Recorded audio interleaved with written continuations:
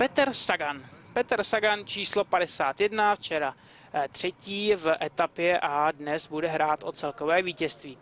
BMC Racing Team, tak eh, John Lelange eh, dobře koučuje tuhletu partu, ale na Garmin to nebude. Ne, ne, ne. 12.54 je to slušný čas. Porovnání s Radiošekem, Rabobankem a týmem Green Edge eh, je to konkurenceschopné, tam je to pouze ve vteřinkách, trošku lepší je Sky, 12.47, ale čas 12.38, to je obrovská výzva i pro tuto partu.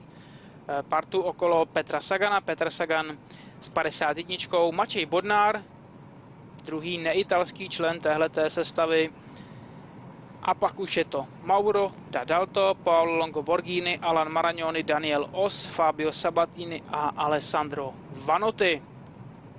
Takže šest Italů, slovenský reprezentant a Polák. Petr Sagan se netají svým velmi ambiciozním plánem a smělým plánem na olympijské hry v Pekingu a to startovat jak na silnici, tak na bajku. Petr Sagan je neskutečně šikovný cyklista, to si tady říkáme a on nám to dokazuje v podstatě v každém závodu. To, co on, ten rozsah cyklistického umění, který on eh, dokáže pojmout, tak to je neskutečné. Cyklokrosař bývalý, fantastický, všechno úspěchy z mistrovství Evropy, mistrovství světa, to on má eh, pod eh, svým pasem.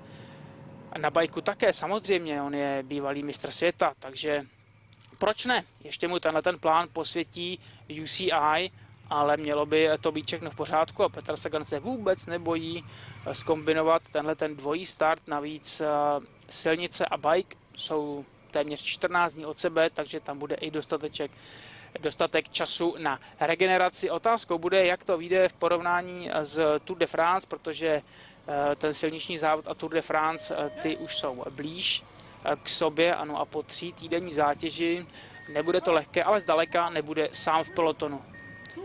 Tento rok je obrovský nabitý, Cavendish bude mít stejný program. Kromě těch bajků to samozřejmě ne. Tom Bonen sestava Omega Pharma Quickstep. No a tady se samozřejmě zase můžeme těšit na Františka Raboně a ten bude mít dnes opět velmi těžký úkol, protože František Raboň je skvělým časovkářem, dokázal nám to v Kodani na mistrovství světa, tady ho máme s 35 a dneska samozřejmě pro něj nastávají klíčové chvilky. On bude jeden z těch hlavních borců, kteří by měli pomoci Bloninovi k dalšímu celkovému prvenství. Kaťuša kompletní sestavě, počítat se bude čas pátého borce. Kaťuša nejde špatně, vůbec ne. 12 minut a 47 vteřin je to třetí místo pro tento tým, pro ruskou partu. Kaťuša na stroji Canyon je další aerodynamický stroj. Takže se můžeme vrátit k té S5, když máme ve vedení tým právě Sarvela. Sarvelo S5 v začátku přenosu eh, jsme sledovali ty pěkné černé stroje s tím aerodynamickým pojetím, tak to je klenot v tom portfoliu Servela, i když oni jdou eh, v té aerodynamice a v těch časovkářských strojích, triatlonových strojích opravdu eh, kupředu a to mílovými kroky. Letos tou Horkou novinkou je prezentace hydraulické brzdy na časovkářských strojích. To třeba uvidíme někdy v sezóně. Ale S5, na které jeli eh, borci dnes, tak eh, tam je velmi zajímavá. Tohle to je předseda cyklistické eh, federace katarské. S5. Samozřejmě ten stroj má aerodynamicky tvarované trubky v tom poměru 3 k 1, jaksi délka předozadní eh, ku šířce, sedlová trubka, spodní rámová trubka těsně obtékají přední a zadní kolo. Významná úspora vatů, navíc ta spodní rámová trubka je v konstrukci dropit, jak říkají konstruktéři tohoto stroje, eh, takže je velmi nízko nad tím předním kolem a to opět vylepšuje nebo snižuje odpor vzduchu. Co je ale zajímavé, co mě zaujalo na specifikaci tohoto stroje, je umístění košíků lahví. Dneska to nepřipadá moc v úvahu, závodníci mají v těch lahvích maximálně log vody, ale za těch 12 minut zátěže si myslím, že to zvládnou klidně bez pití, navíc je tady nějakých 21 stupňů Celsia, takže žádné obrovské, obrovské vedro. Nicméně Garmin Cervelo nebo Cervelo S5, tak eh, tam eh, to umístění lahví je ve, dvě, ve dvou variantách. Oproti klasickému umístění lahve, kdy tady jsou ty košíky o něco níž, o něco blíž středu, oba dva, eh, tak jedna flaška šetří 5 W, když ji dáte níž na té trubce. Dvě flašky 10 W a to už je samozřejmě znát. No a Garmin Cervelo jde ještě dál, protože tam nabízí variantu uh, umístění láhve ještě níž.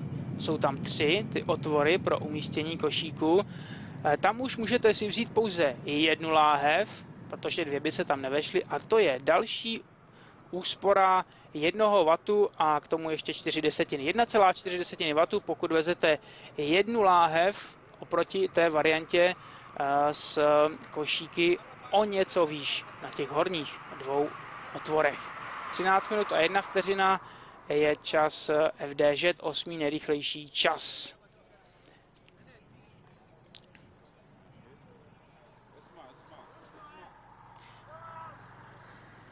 Taky do takových detailů eh, zachází eh, výrobce Cervelo.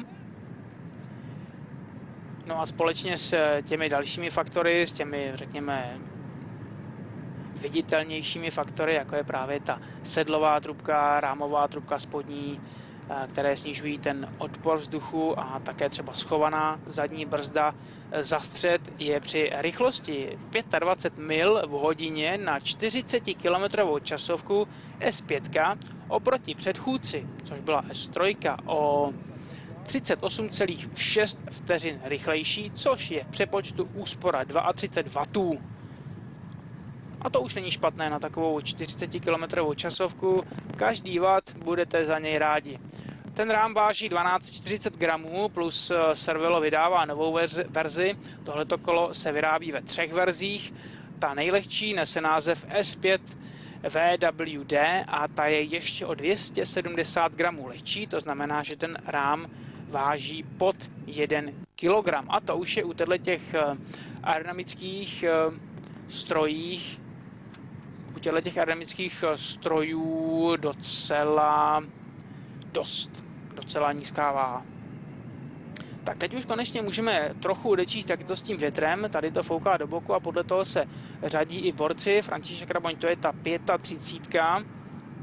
Eh, když jsme u těch strojů, tak tady je to naprosto jasné. Specialized Bench, to je ten stroj, který, který Specialized vyrábí ve spolupráci s McLarenem, takže i trošku, i trošku automobilového průmyslu, ale jak jsme teďka viděli z toho pohledu, tak ho nemají úplně všichni. Tom Bonen včera vezl Vench, který je prý v porovnání právě třeba s S5, s dalšími aerodynamickými stroji jako Feld, o něco pohodlnější což je zase důležité pro ty dlouhé rovinaté etapy. Další tým, který to má dneska za sebou, je Lotto Belisol a je tam pět závodníků, čili ten potřebný počet. Loto to stihne pod 13 minut, odpárali tam eh, své tři borce, kteří se vydali na začátku etapy a pak mohli odstoupit. 12 minut 55 vteřin, sedmé místo.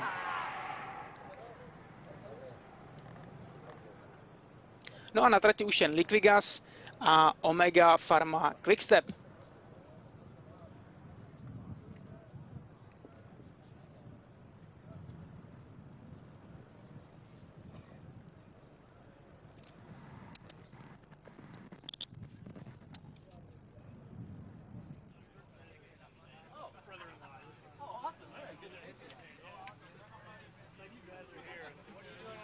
Takže by se tady už eh, slavilo, zatím to tak vypadá.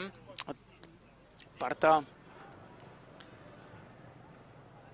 v modročerných dresech, také nové dresy pro letošní sezónu zajela zatím excelentní čas 12.38, 9 vteřin na Sky i na Kaťušu.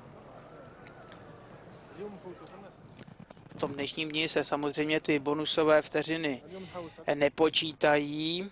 Mark Cavendish, jestli pak by si mohl zadělat na vítězství tímhletím týmovým výkonem, ty ztráty jsou naprosto minimální. Vede Bonen, 4 vteřiny za ním Bliss, Sagan 6, 7 Tyler Farrar, 8 Davide Apolonio, což je záložní varianta týmu Sky, mladík, 22-letý sprinter, který má za sebou 9 eh, vítězství ve své kariéře. Loni zazářil druhým místem v etapě na Giro. No a hádejte, kdo ho tam přesprintoval. No jo, Cavendish. Tak to je eh, docela ironie. Teďka závodí v jednom týmu. Jeden z borců Liquigasu už to má za sebou, odpracoval si to svoje v první polovině etapy a odstupuje, stačí ta pětka, aby dokončila závod. E, ta etapa, když jsme mluvili o té technické náročnosti, tak e, borci dnes e, přejedou pět kruhových objezdů, z čehož dvakrát udělají čelem vzad a třikrát se otočí o 90 stupňů. Takže to rozhodně není vůbec nic jednoduchého. A tohle byl Petr Sagan. Petr Sagan, který se rázem stává středem pozornosti na každém závodu, který absolvuje nejen kvůli svým technickým kouskům v loňském roce na Vueltě, na Anglíru, na to strašné stoupání, jel po zadním kole, bavil diváky všude okolo, když vyhraje, tak pravidelně jezdí po zadním kole. Teďka to bude na obou kolech, ale v úžasné rychlosti. Jak na tom bude jeho tým, padají na čtvrté místo 12.51. Takže 12.51 pro Liquigas. Není to špatné, lepší než Green Edge, lepší než Radiošek o jednu vteřinku, lepší než eh, Kaťuša, ale na Garmin Servelo je to eh, stále ještě málo. Vypadá to, vypadá, že Garmin si dnes dojede pro vítězství, ale ještě na trati je jedna skupinka a to Omega Pharma Lotto. Omega Pharma Quickstep. Omlouvám se, je toho hodně nového, mezi těmi cyklistickými týmy Lotto Belisol je na místě osmém. No ale jasně je vidět z tohoto pohledu, že té dnešní etapě se dají nadělat ty možná i rozhodující rozdíly. A to, co bude hrát roli, a to, co slibuje velké drama i na ty následující etapy, jsou právě bonusy. A to nejen cílové, kde se bere těch 10, 6 a 4 vteřiny, ale také na trati, kdy v každé etapě jsou dvě sprinterské premie. Thomas Decker, to je on, Thomas Decker, který se vrací po dopingových problémech, on se přiznal k užívání krevního dopingu, eh, dva roky si odseděl, pak se vracel v týmu Chipotle, což je kontinentální tým, který je takovou farmou pro Garmin Cervelo. V loňském roce vyhrál s Johanem Fanem Fansumerenem časovku dvojic, dokonce tam, která eh, se jezdí ve Francii, dokonce tam překonal eh, traťový rekord Jonathana Wouters, který je jeho týmovým ředitelem a tenhle ten rekord on tam zajel s Jensem Vojtem. Jens Vojt, který absolvuje další sezónu. Tenhle ten cyklistický táta, ještě ho uvidíme minimálně jeden rok a za to jsme všichni šťastní. Taková podobná ikona, jako třeba Robbie McEwen, který v tom týmu Green Edge přijal Eh, takovou roli na pomezí závodníka a mentora. Zaučuje prostě mladé závodníky a úžasně si tu roli užívá. Je to pro něj taková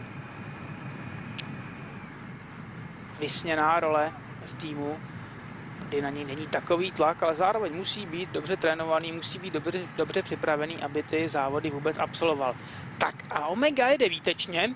Omega jede výtečně, František Raboň opět zvládl svou práci na jedničku. Nebude to stačit na Garmin, ale ten čas bude 12 minut 44, 45 vteřin, druhé místo. 12 minut 45 vteřin, druhé místo, odstup od uh, Garminu je 7 vteřinový. No a Taylor Farrar ztrácel 7 vteřin před dnešním dnem, takže Tom Bonen versus Tyler Farrar.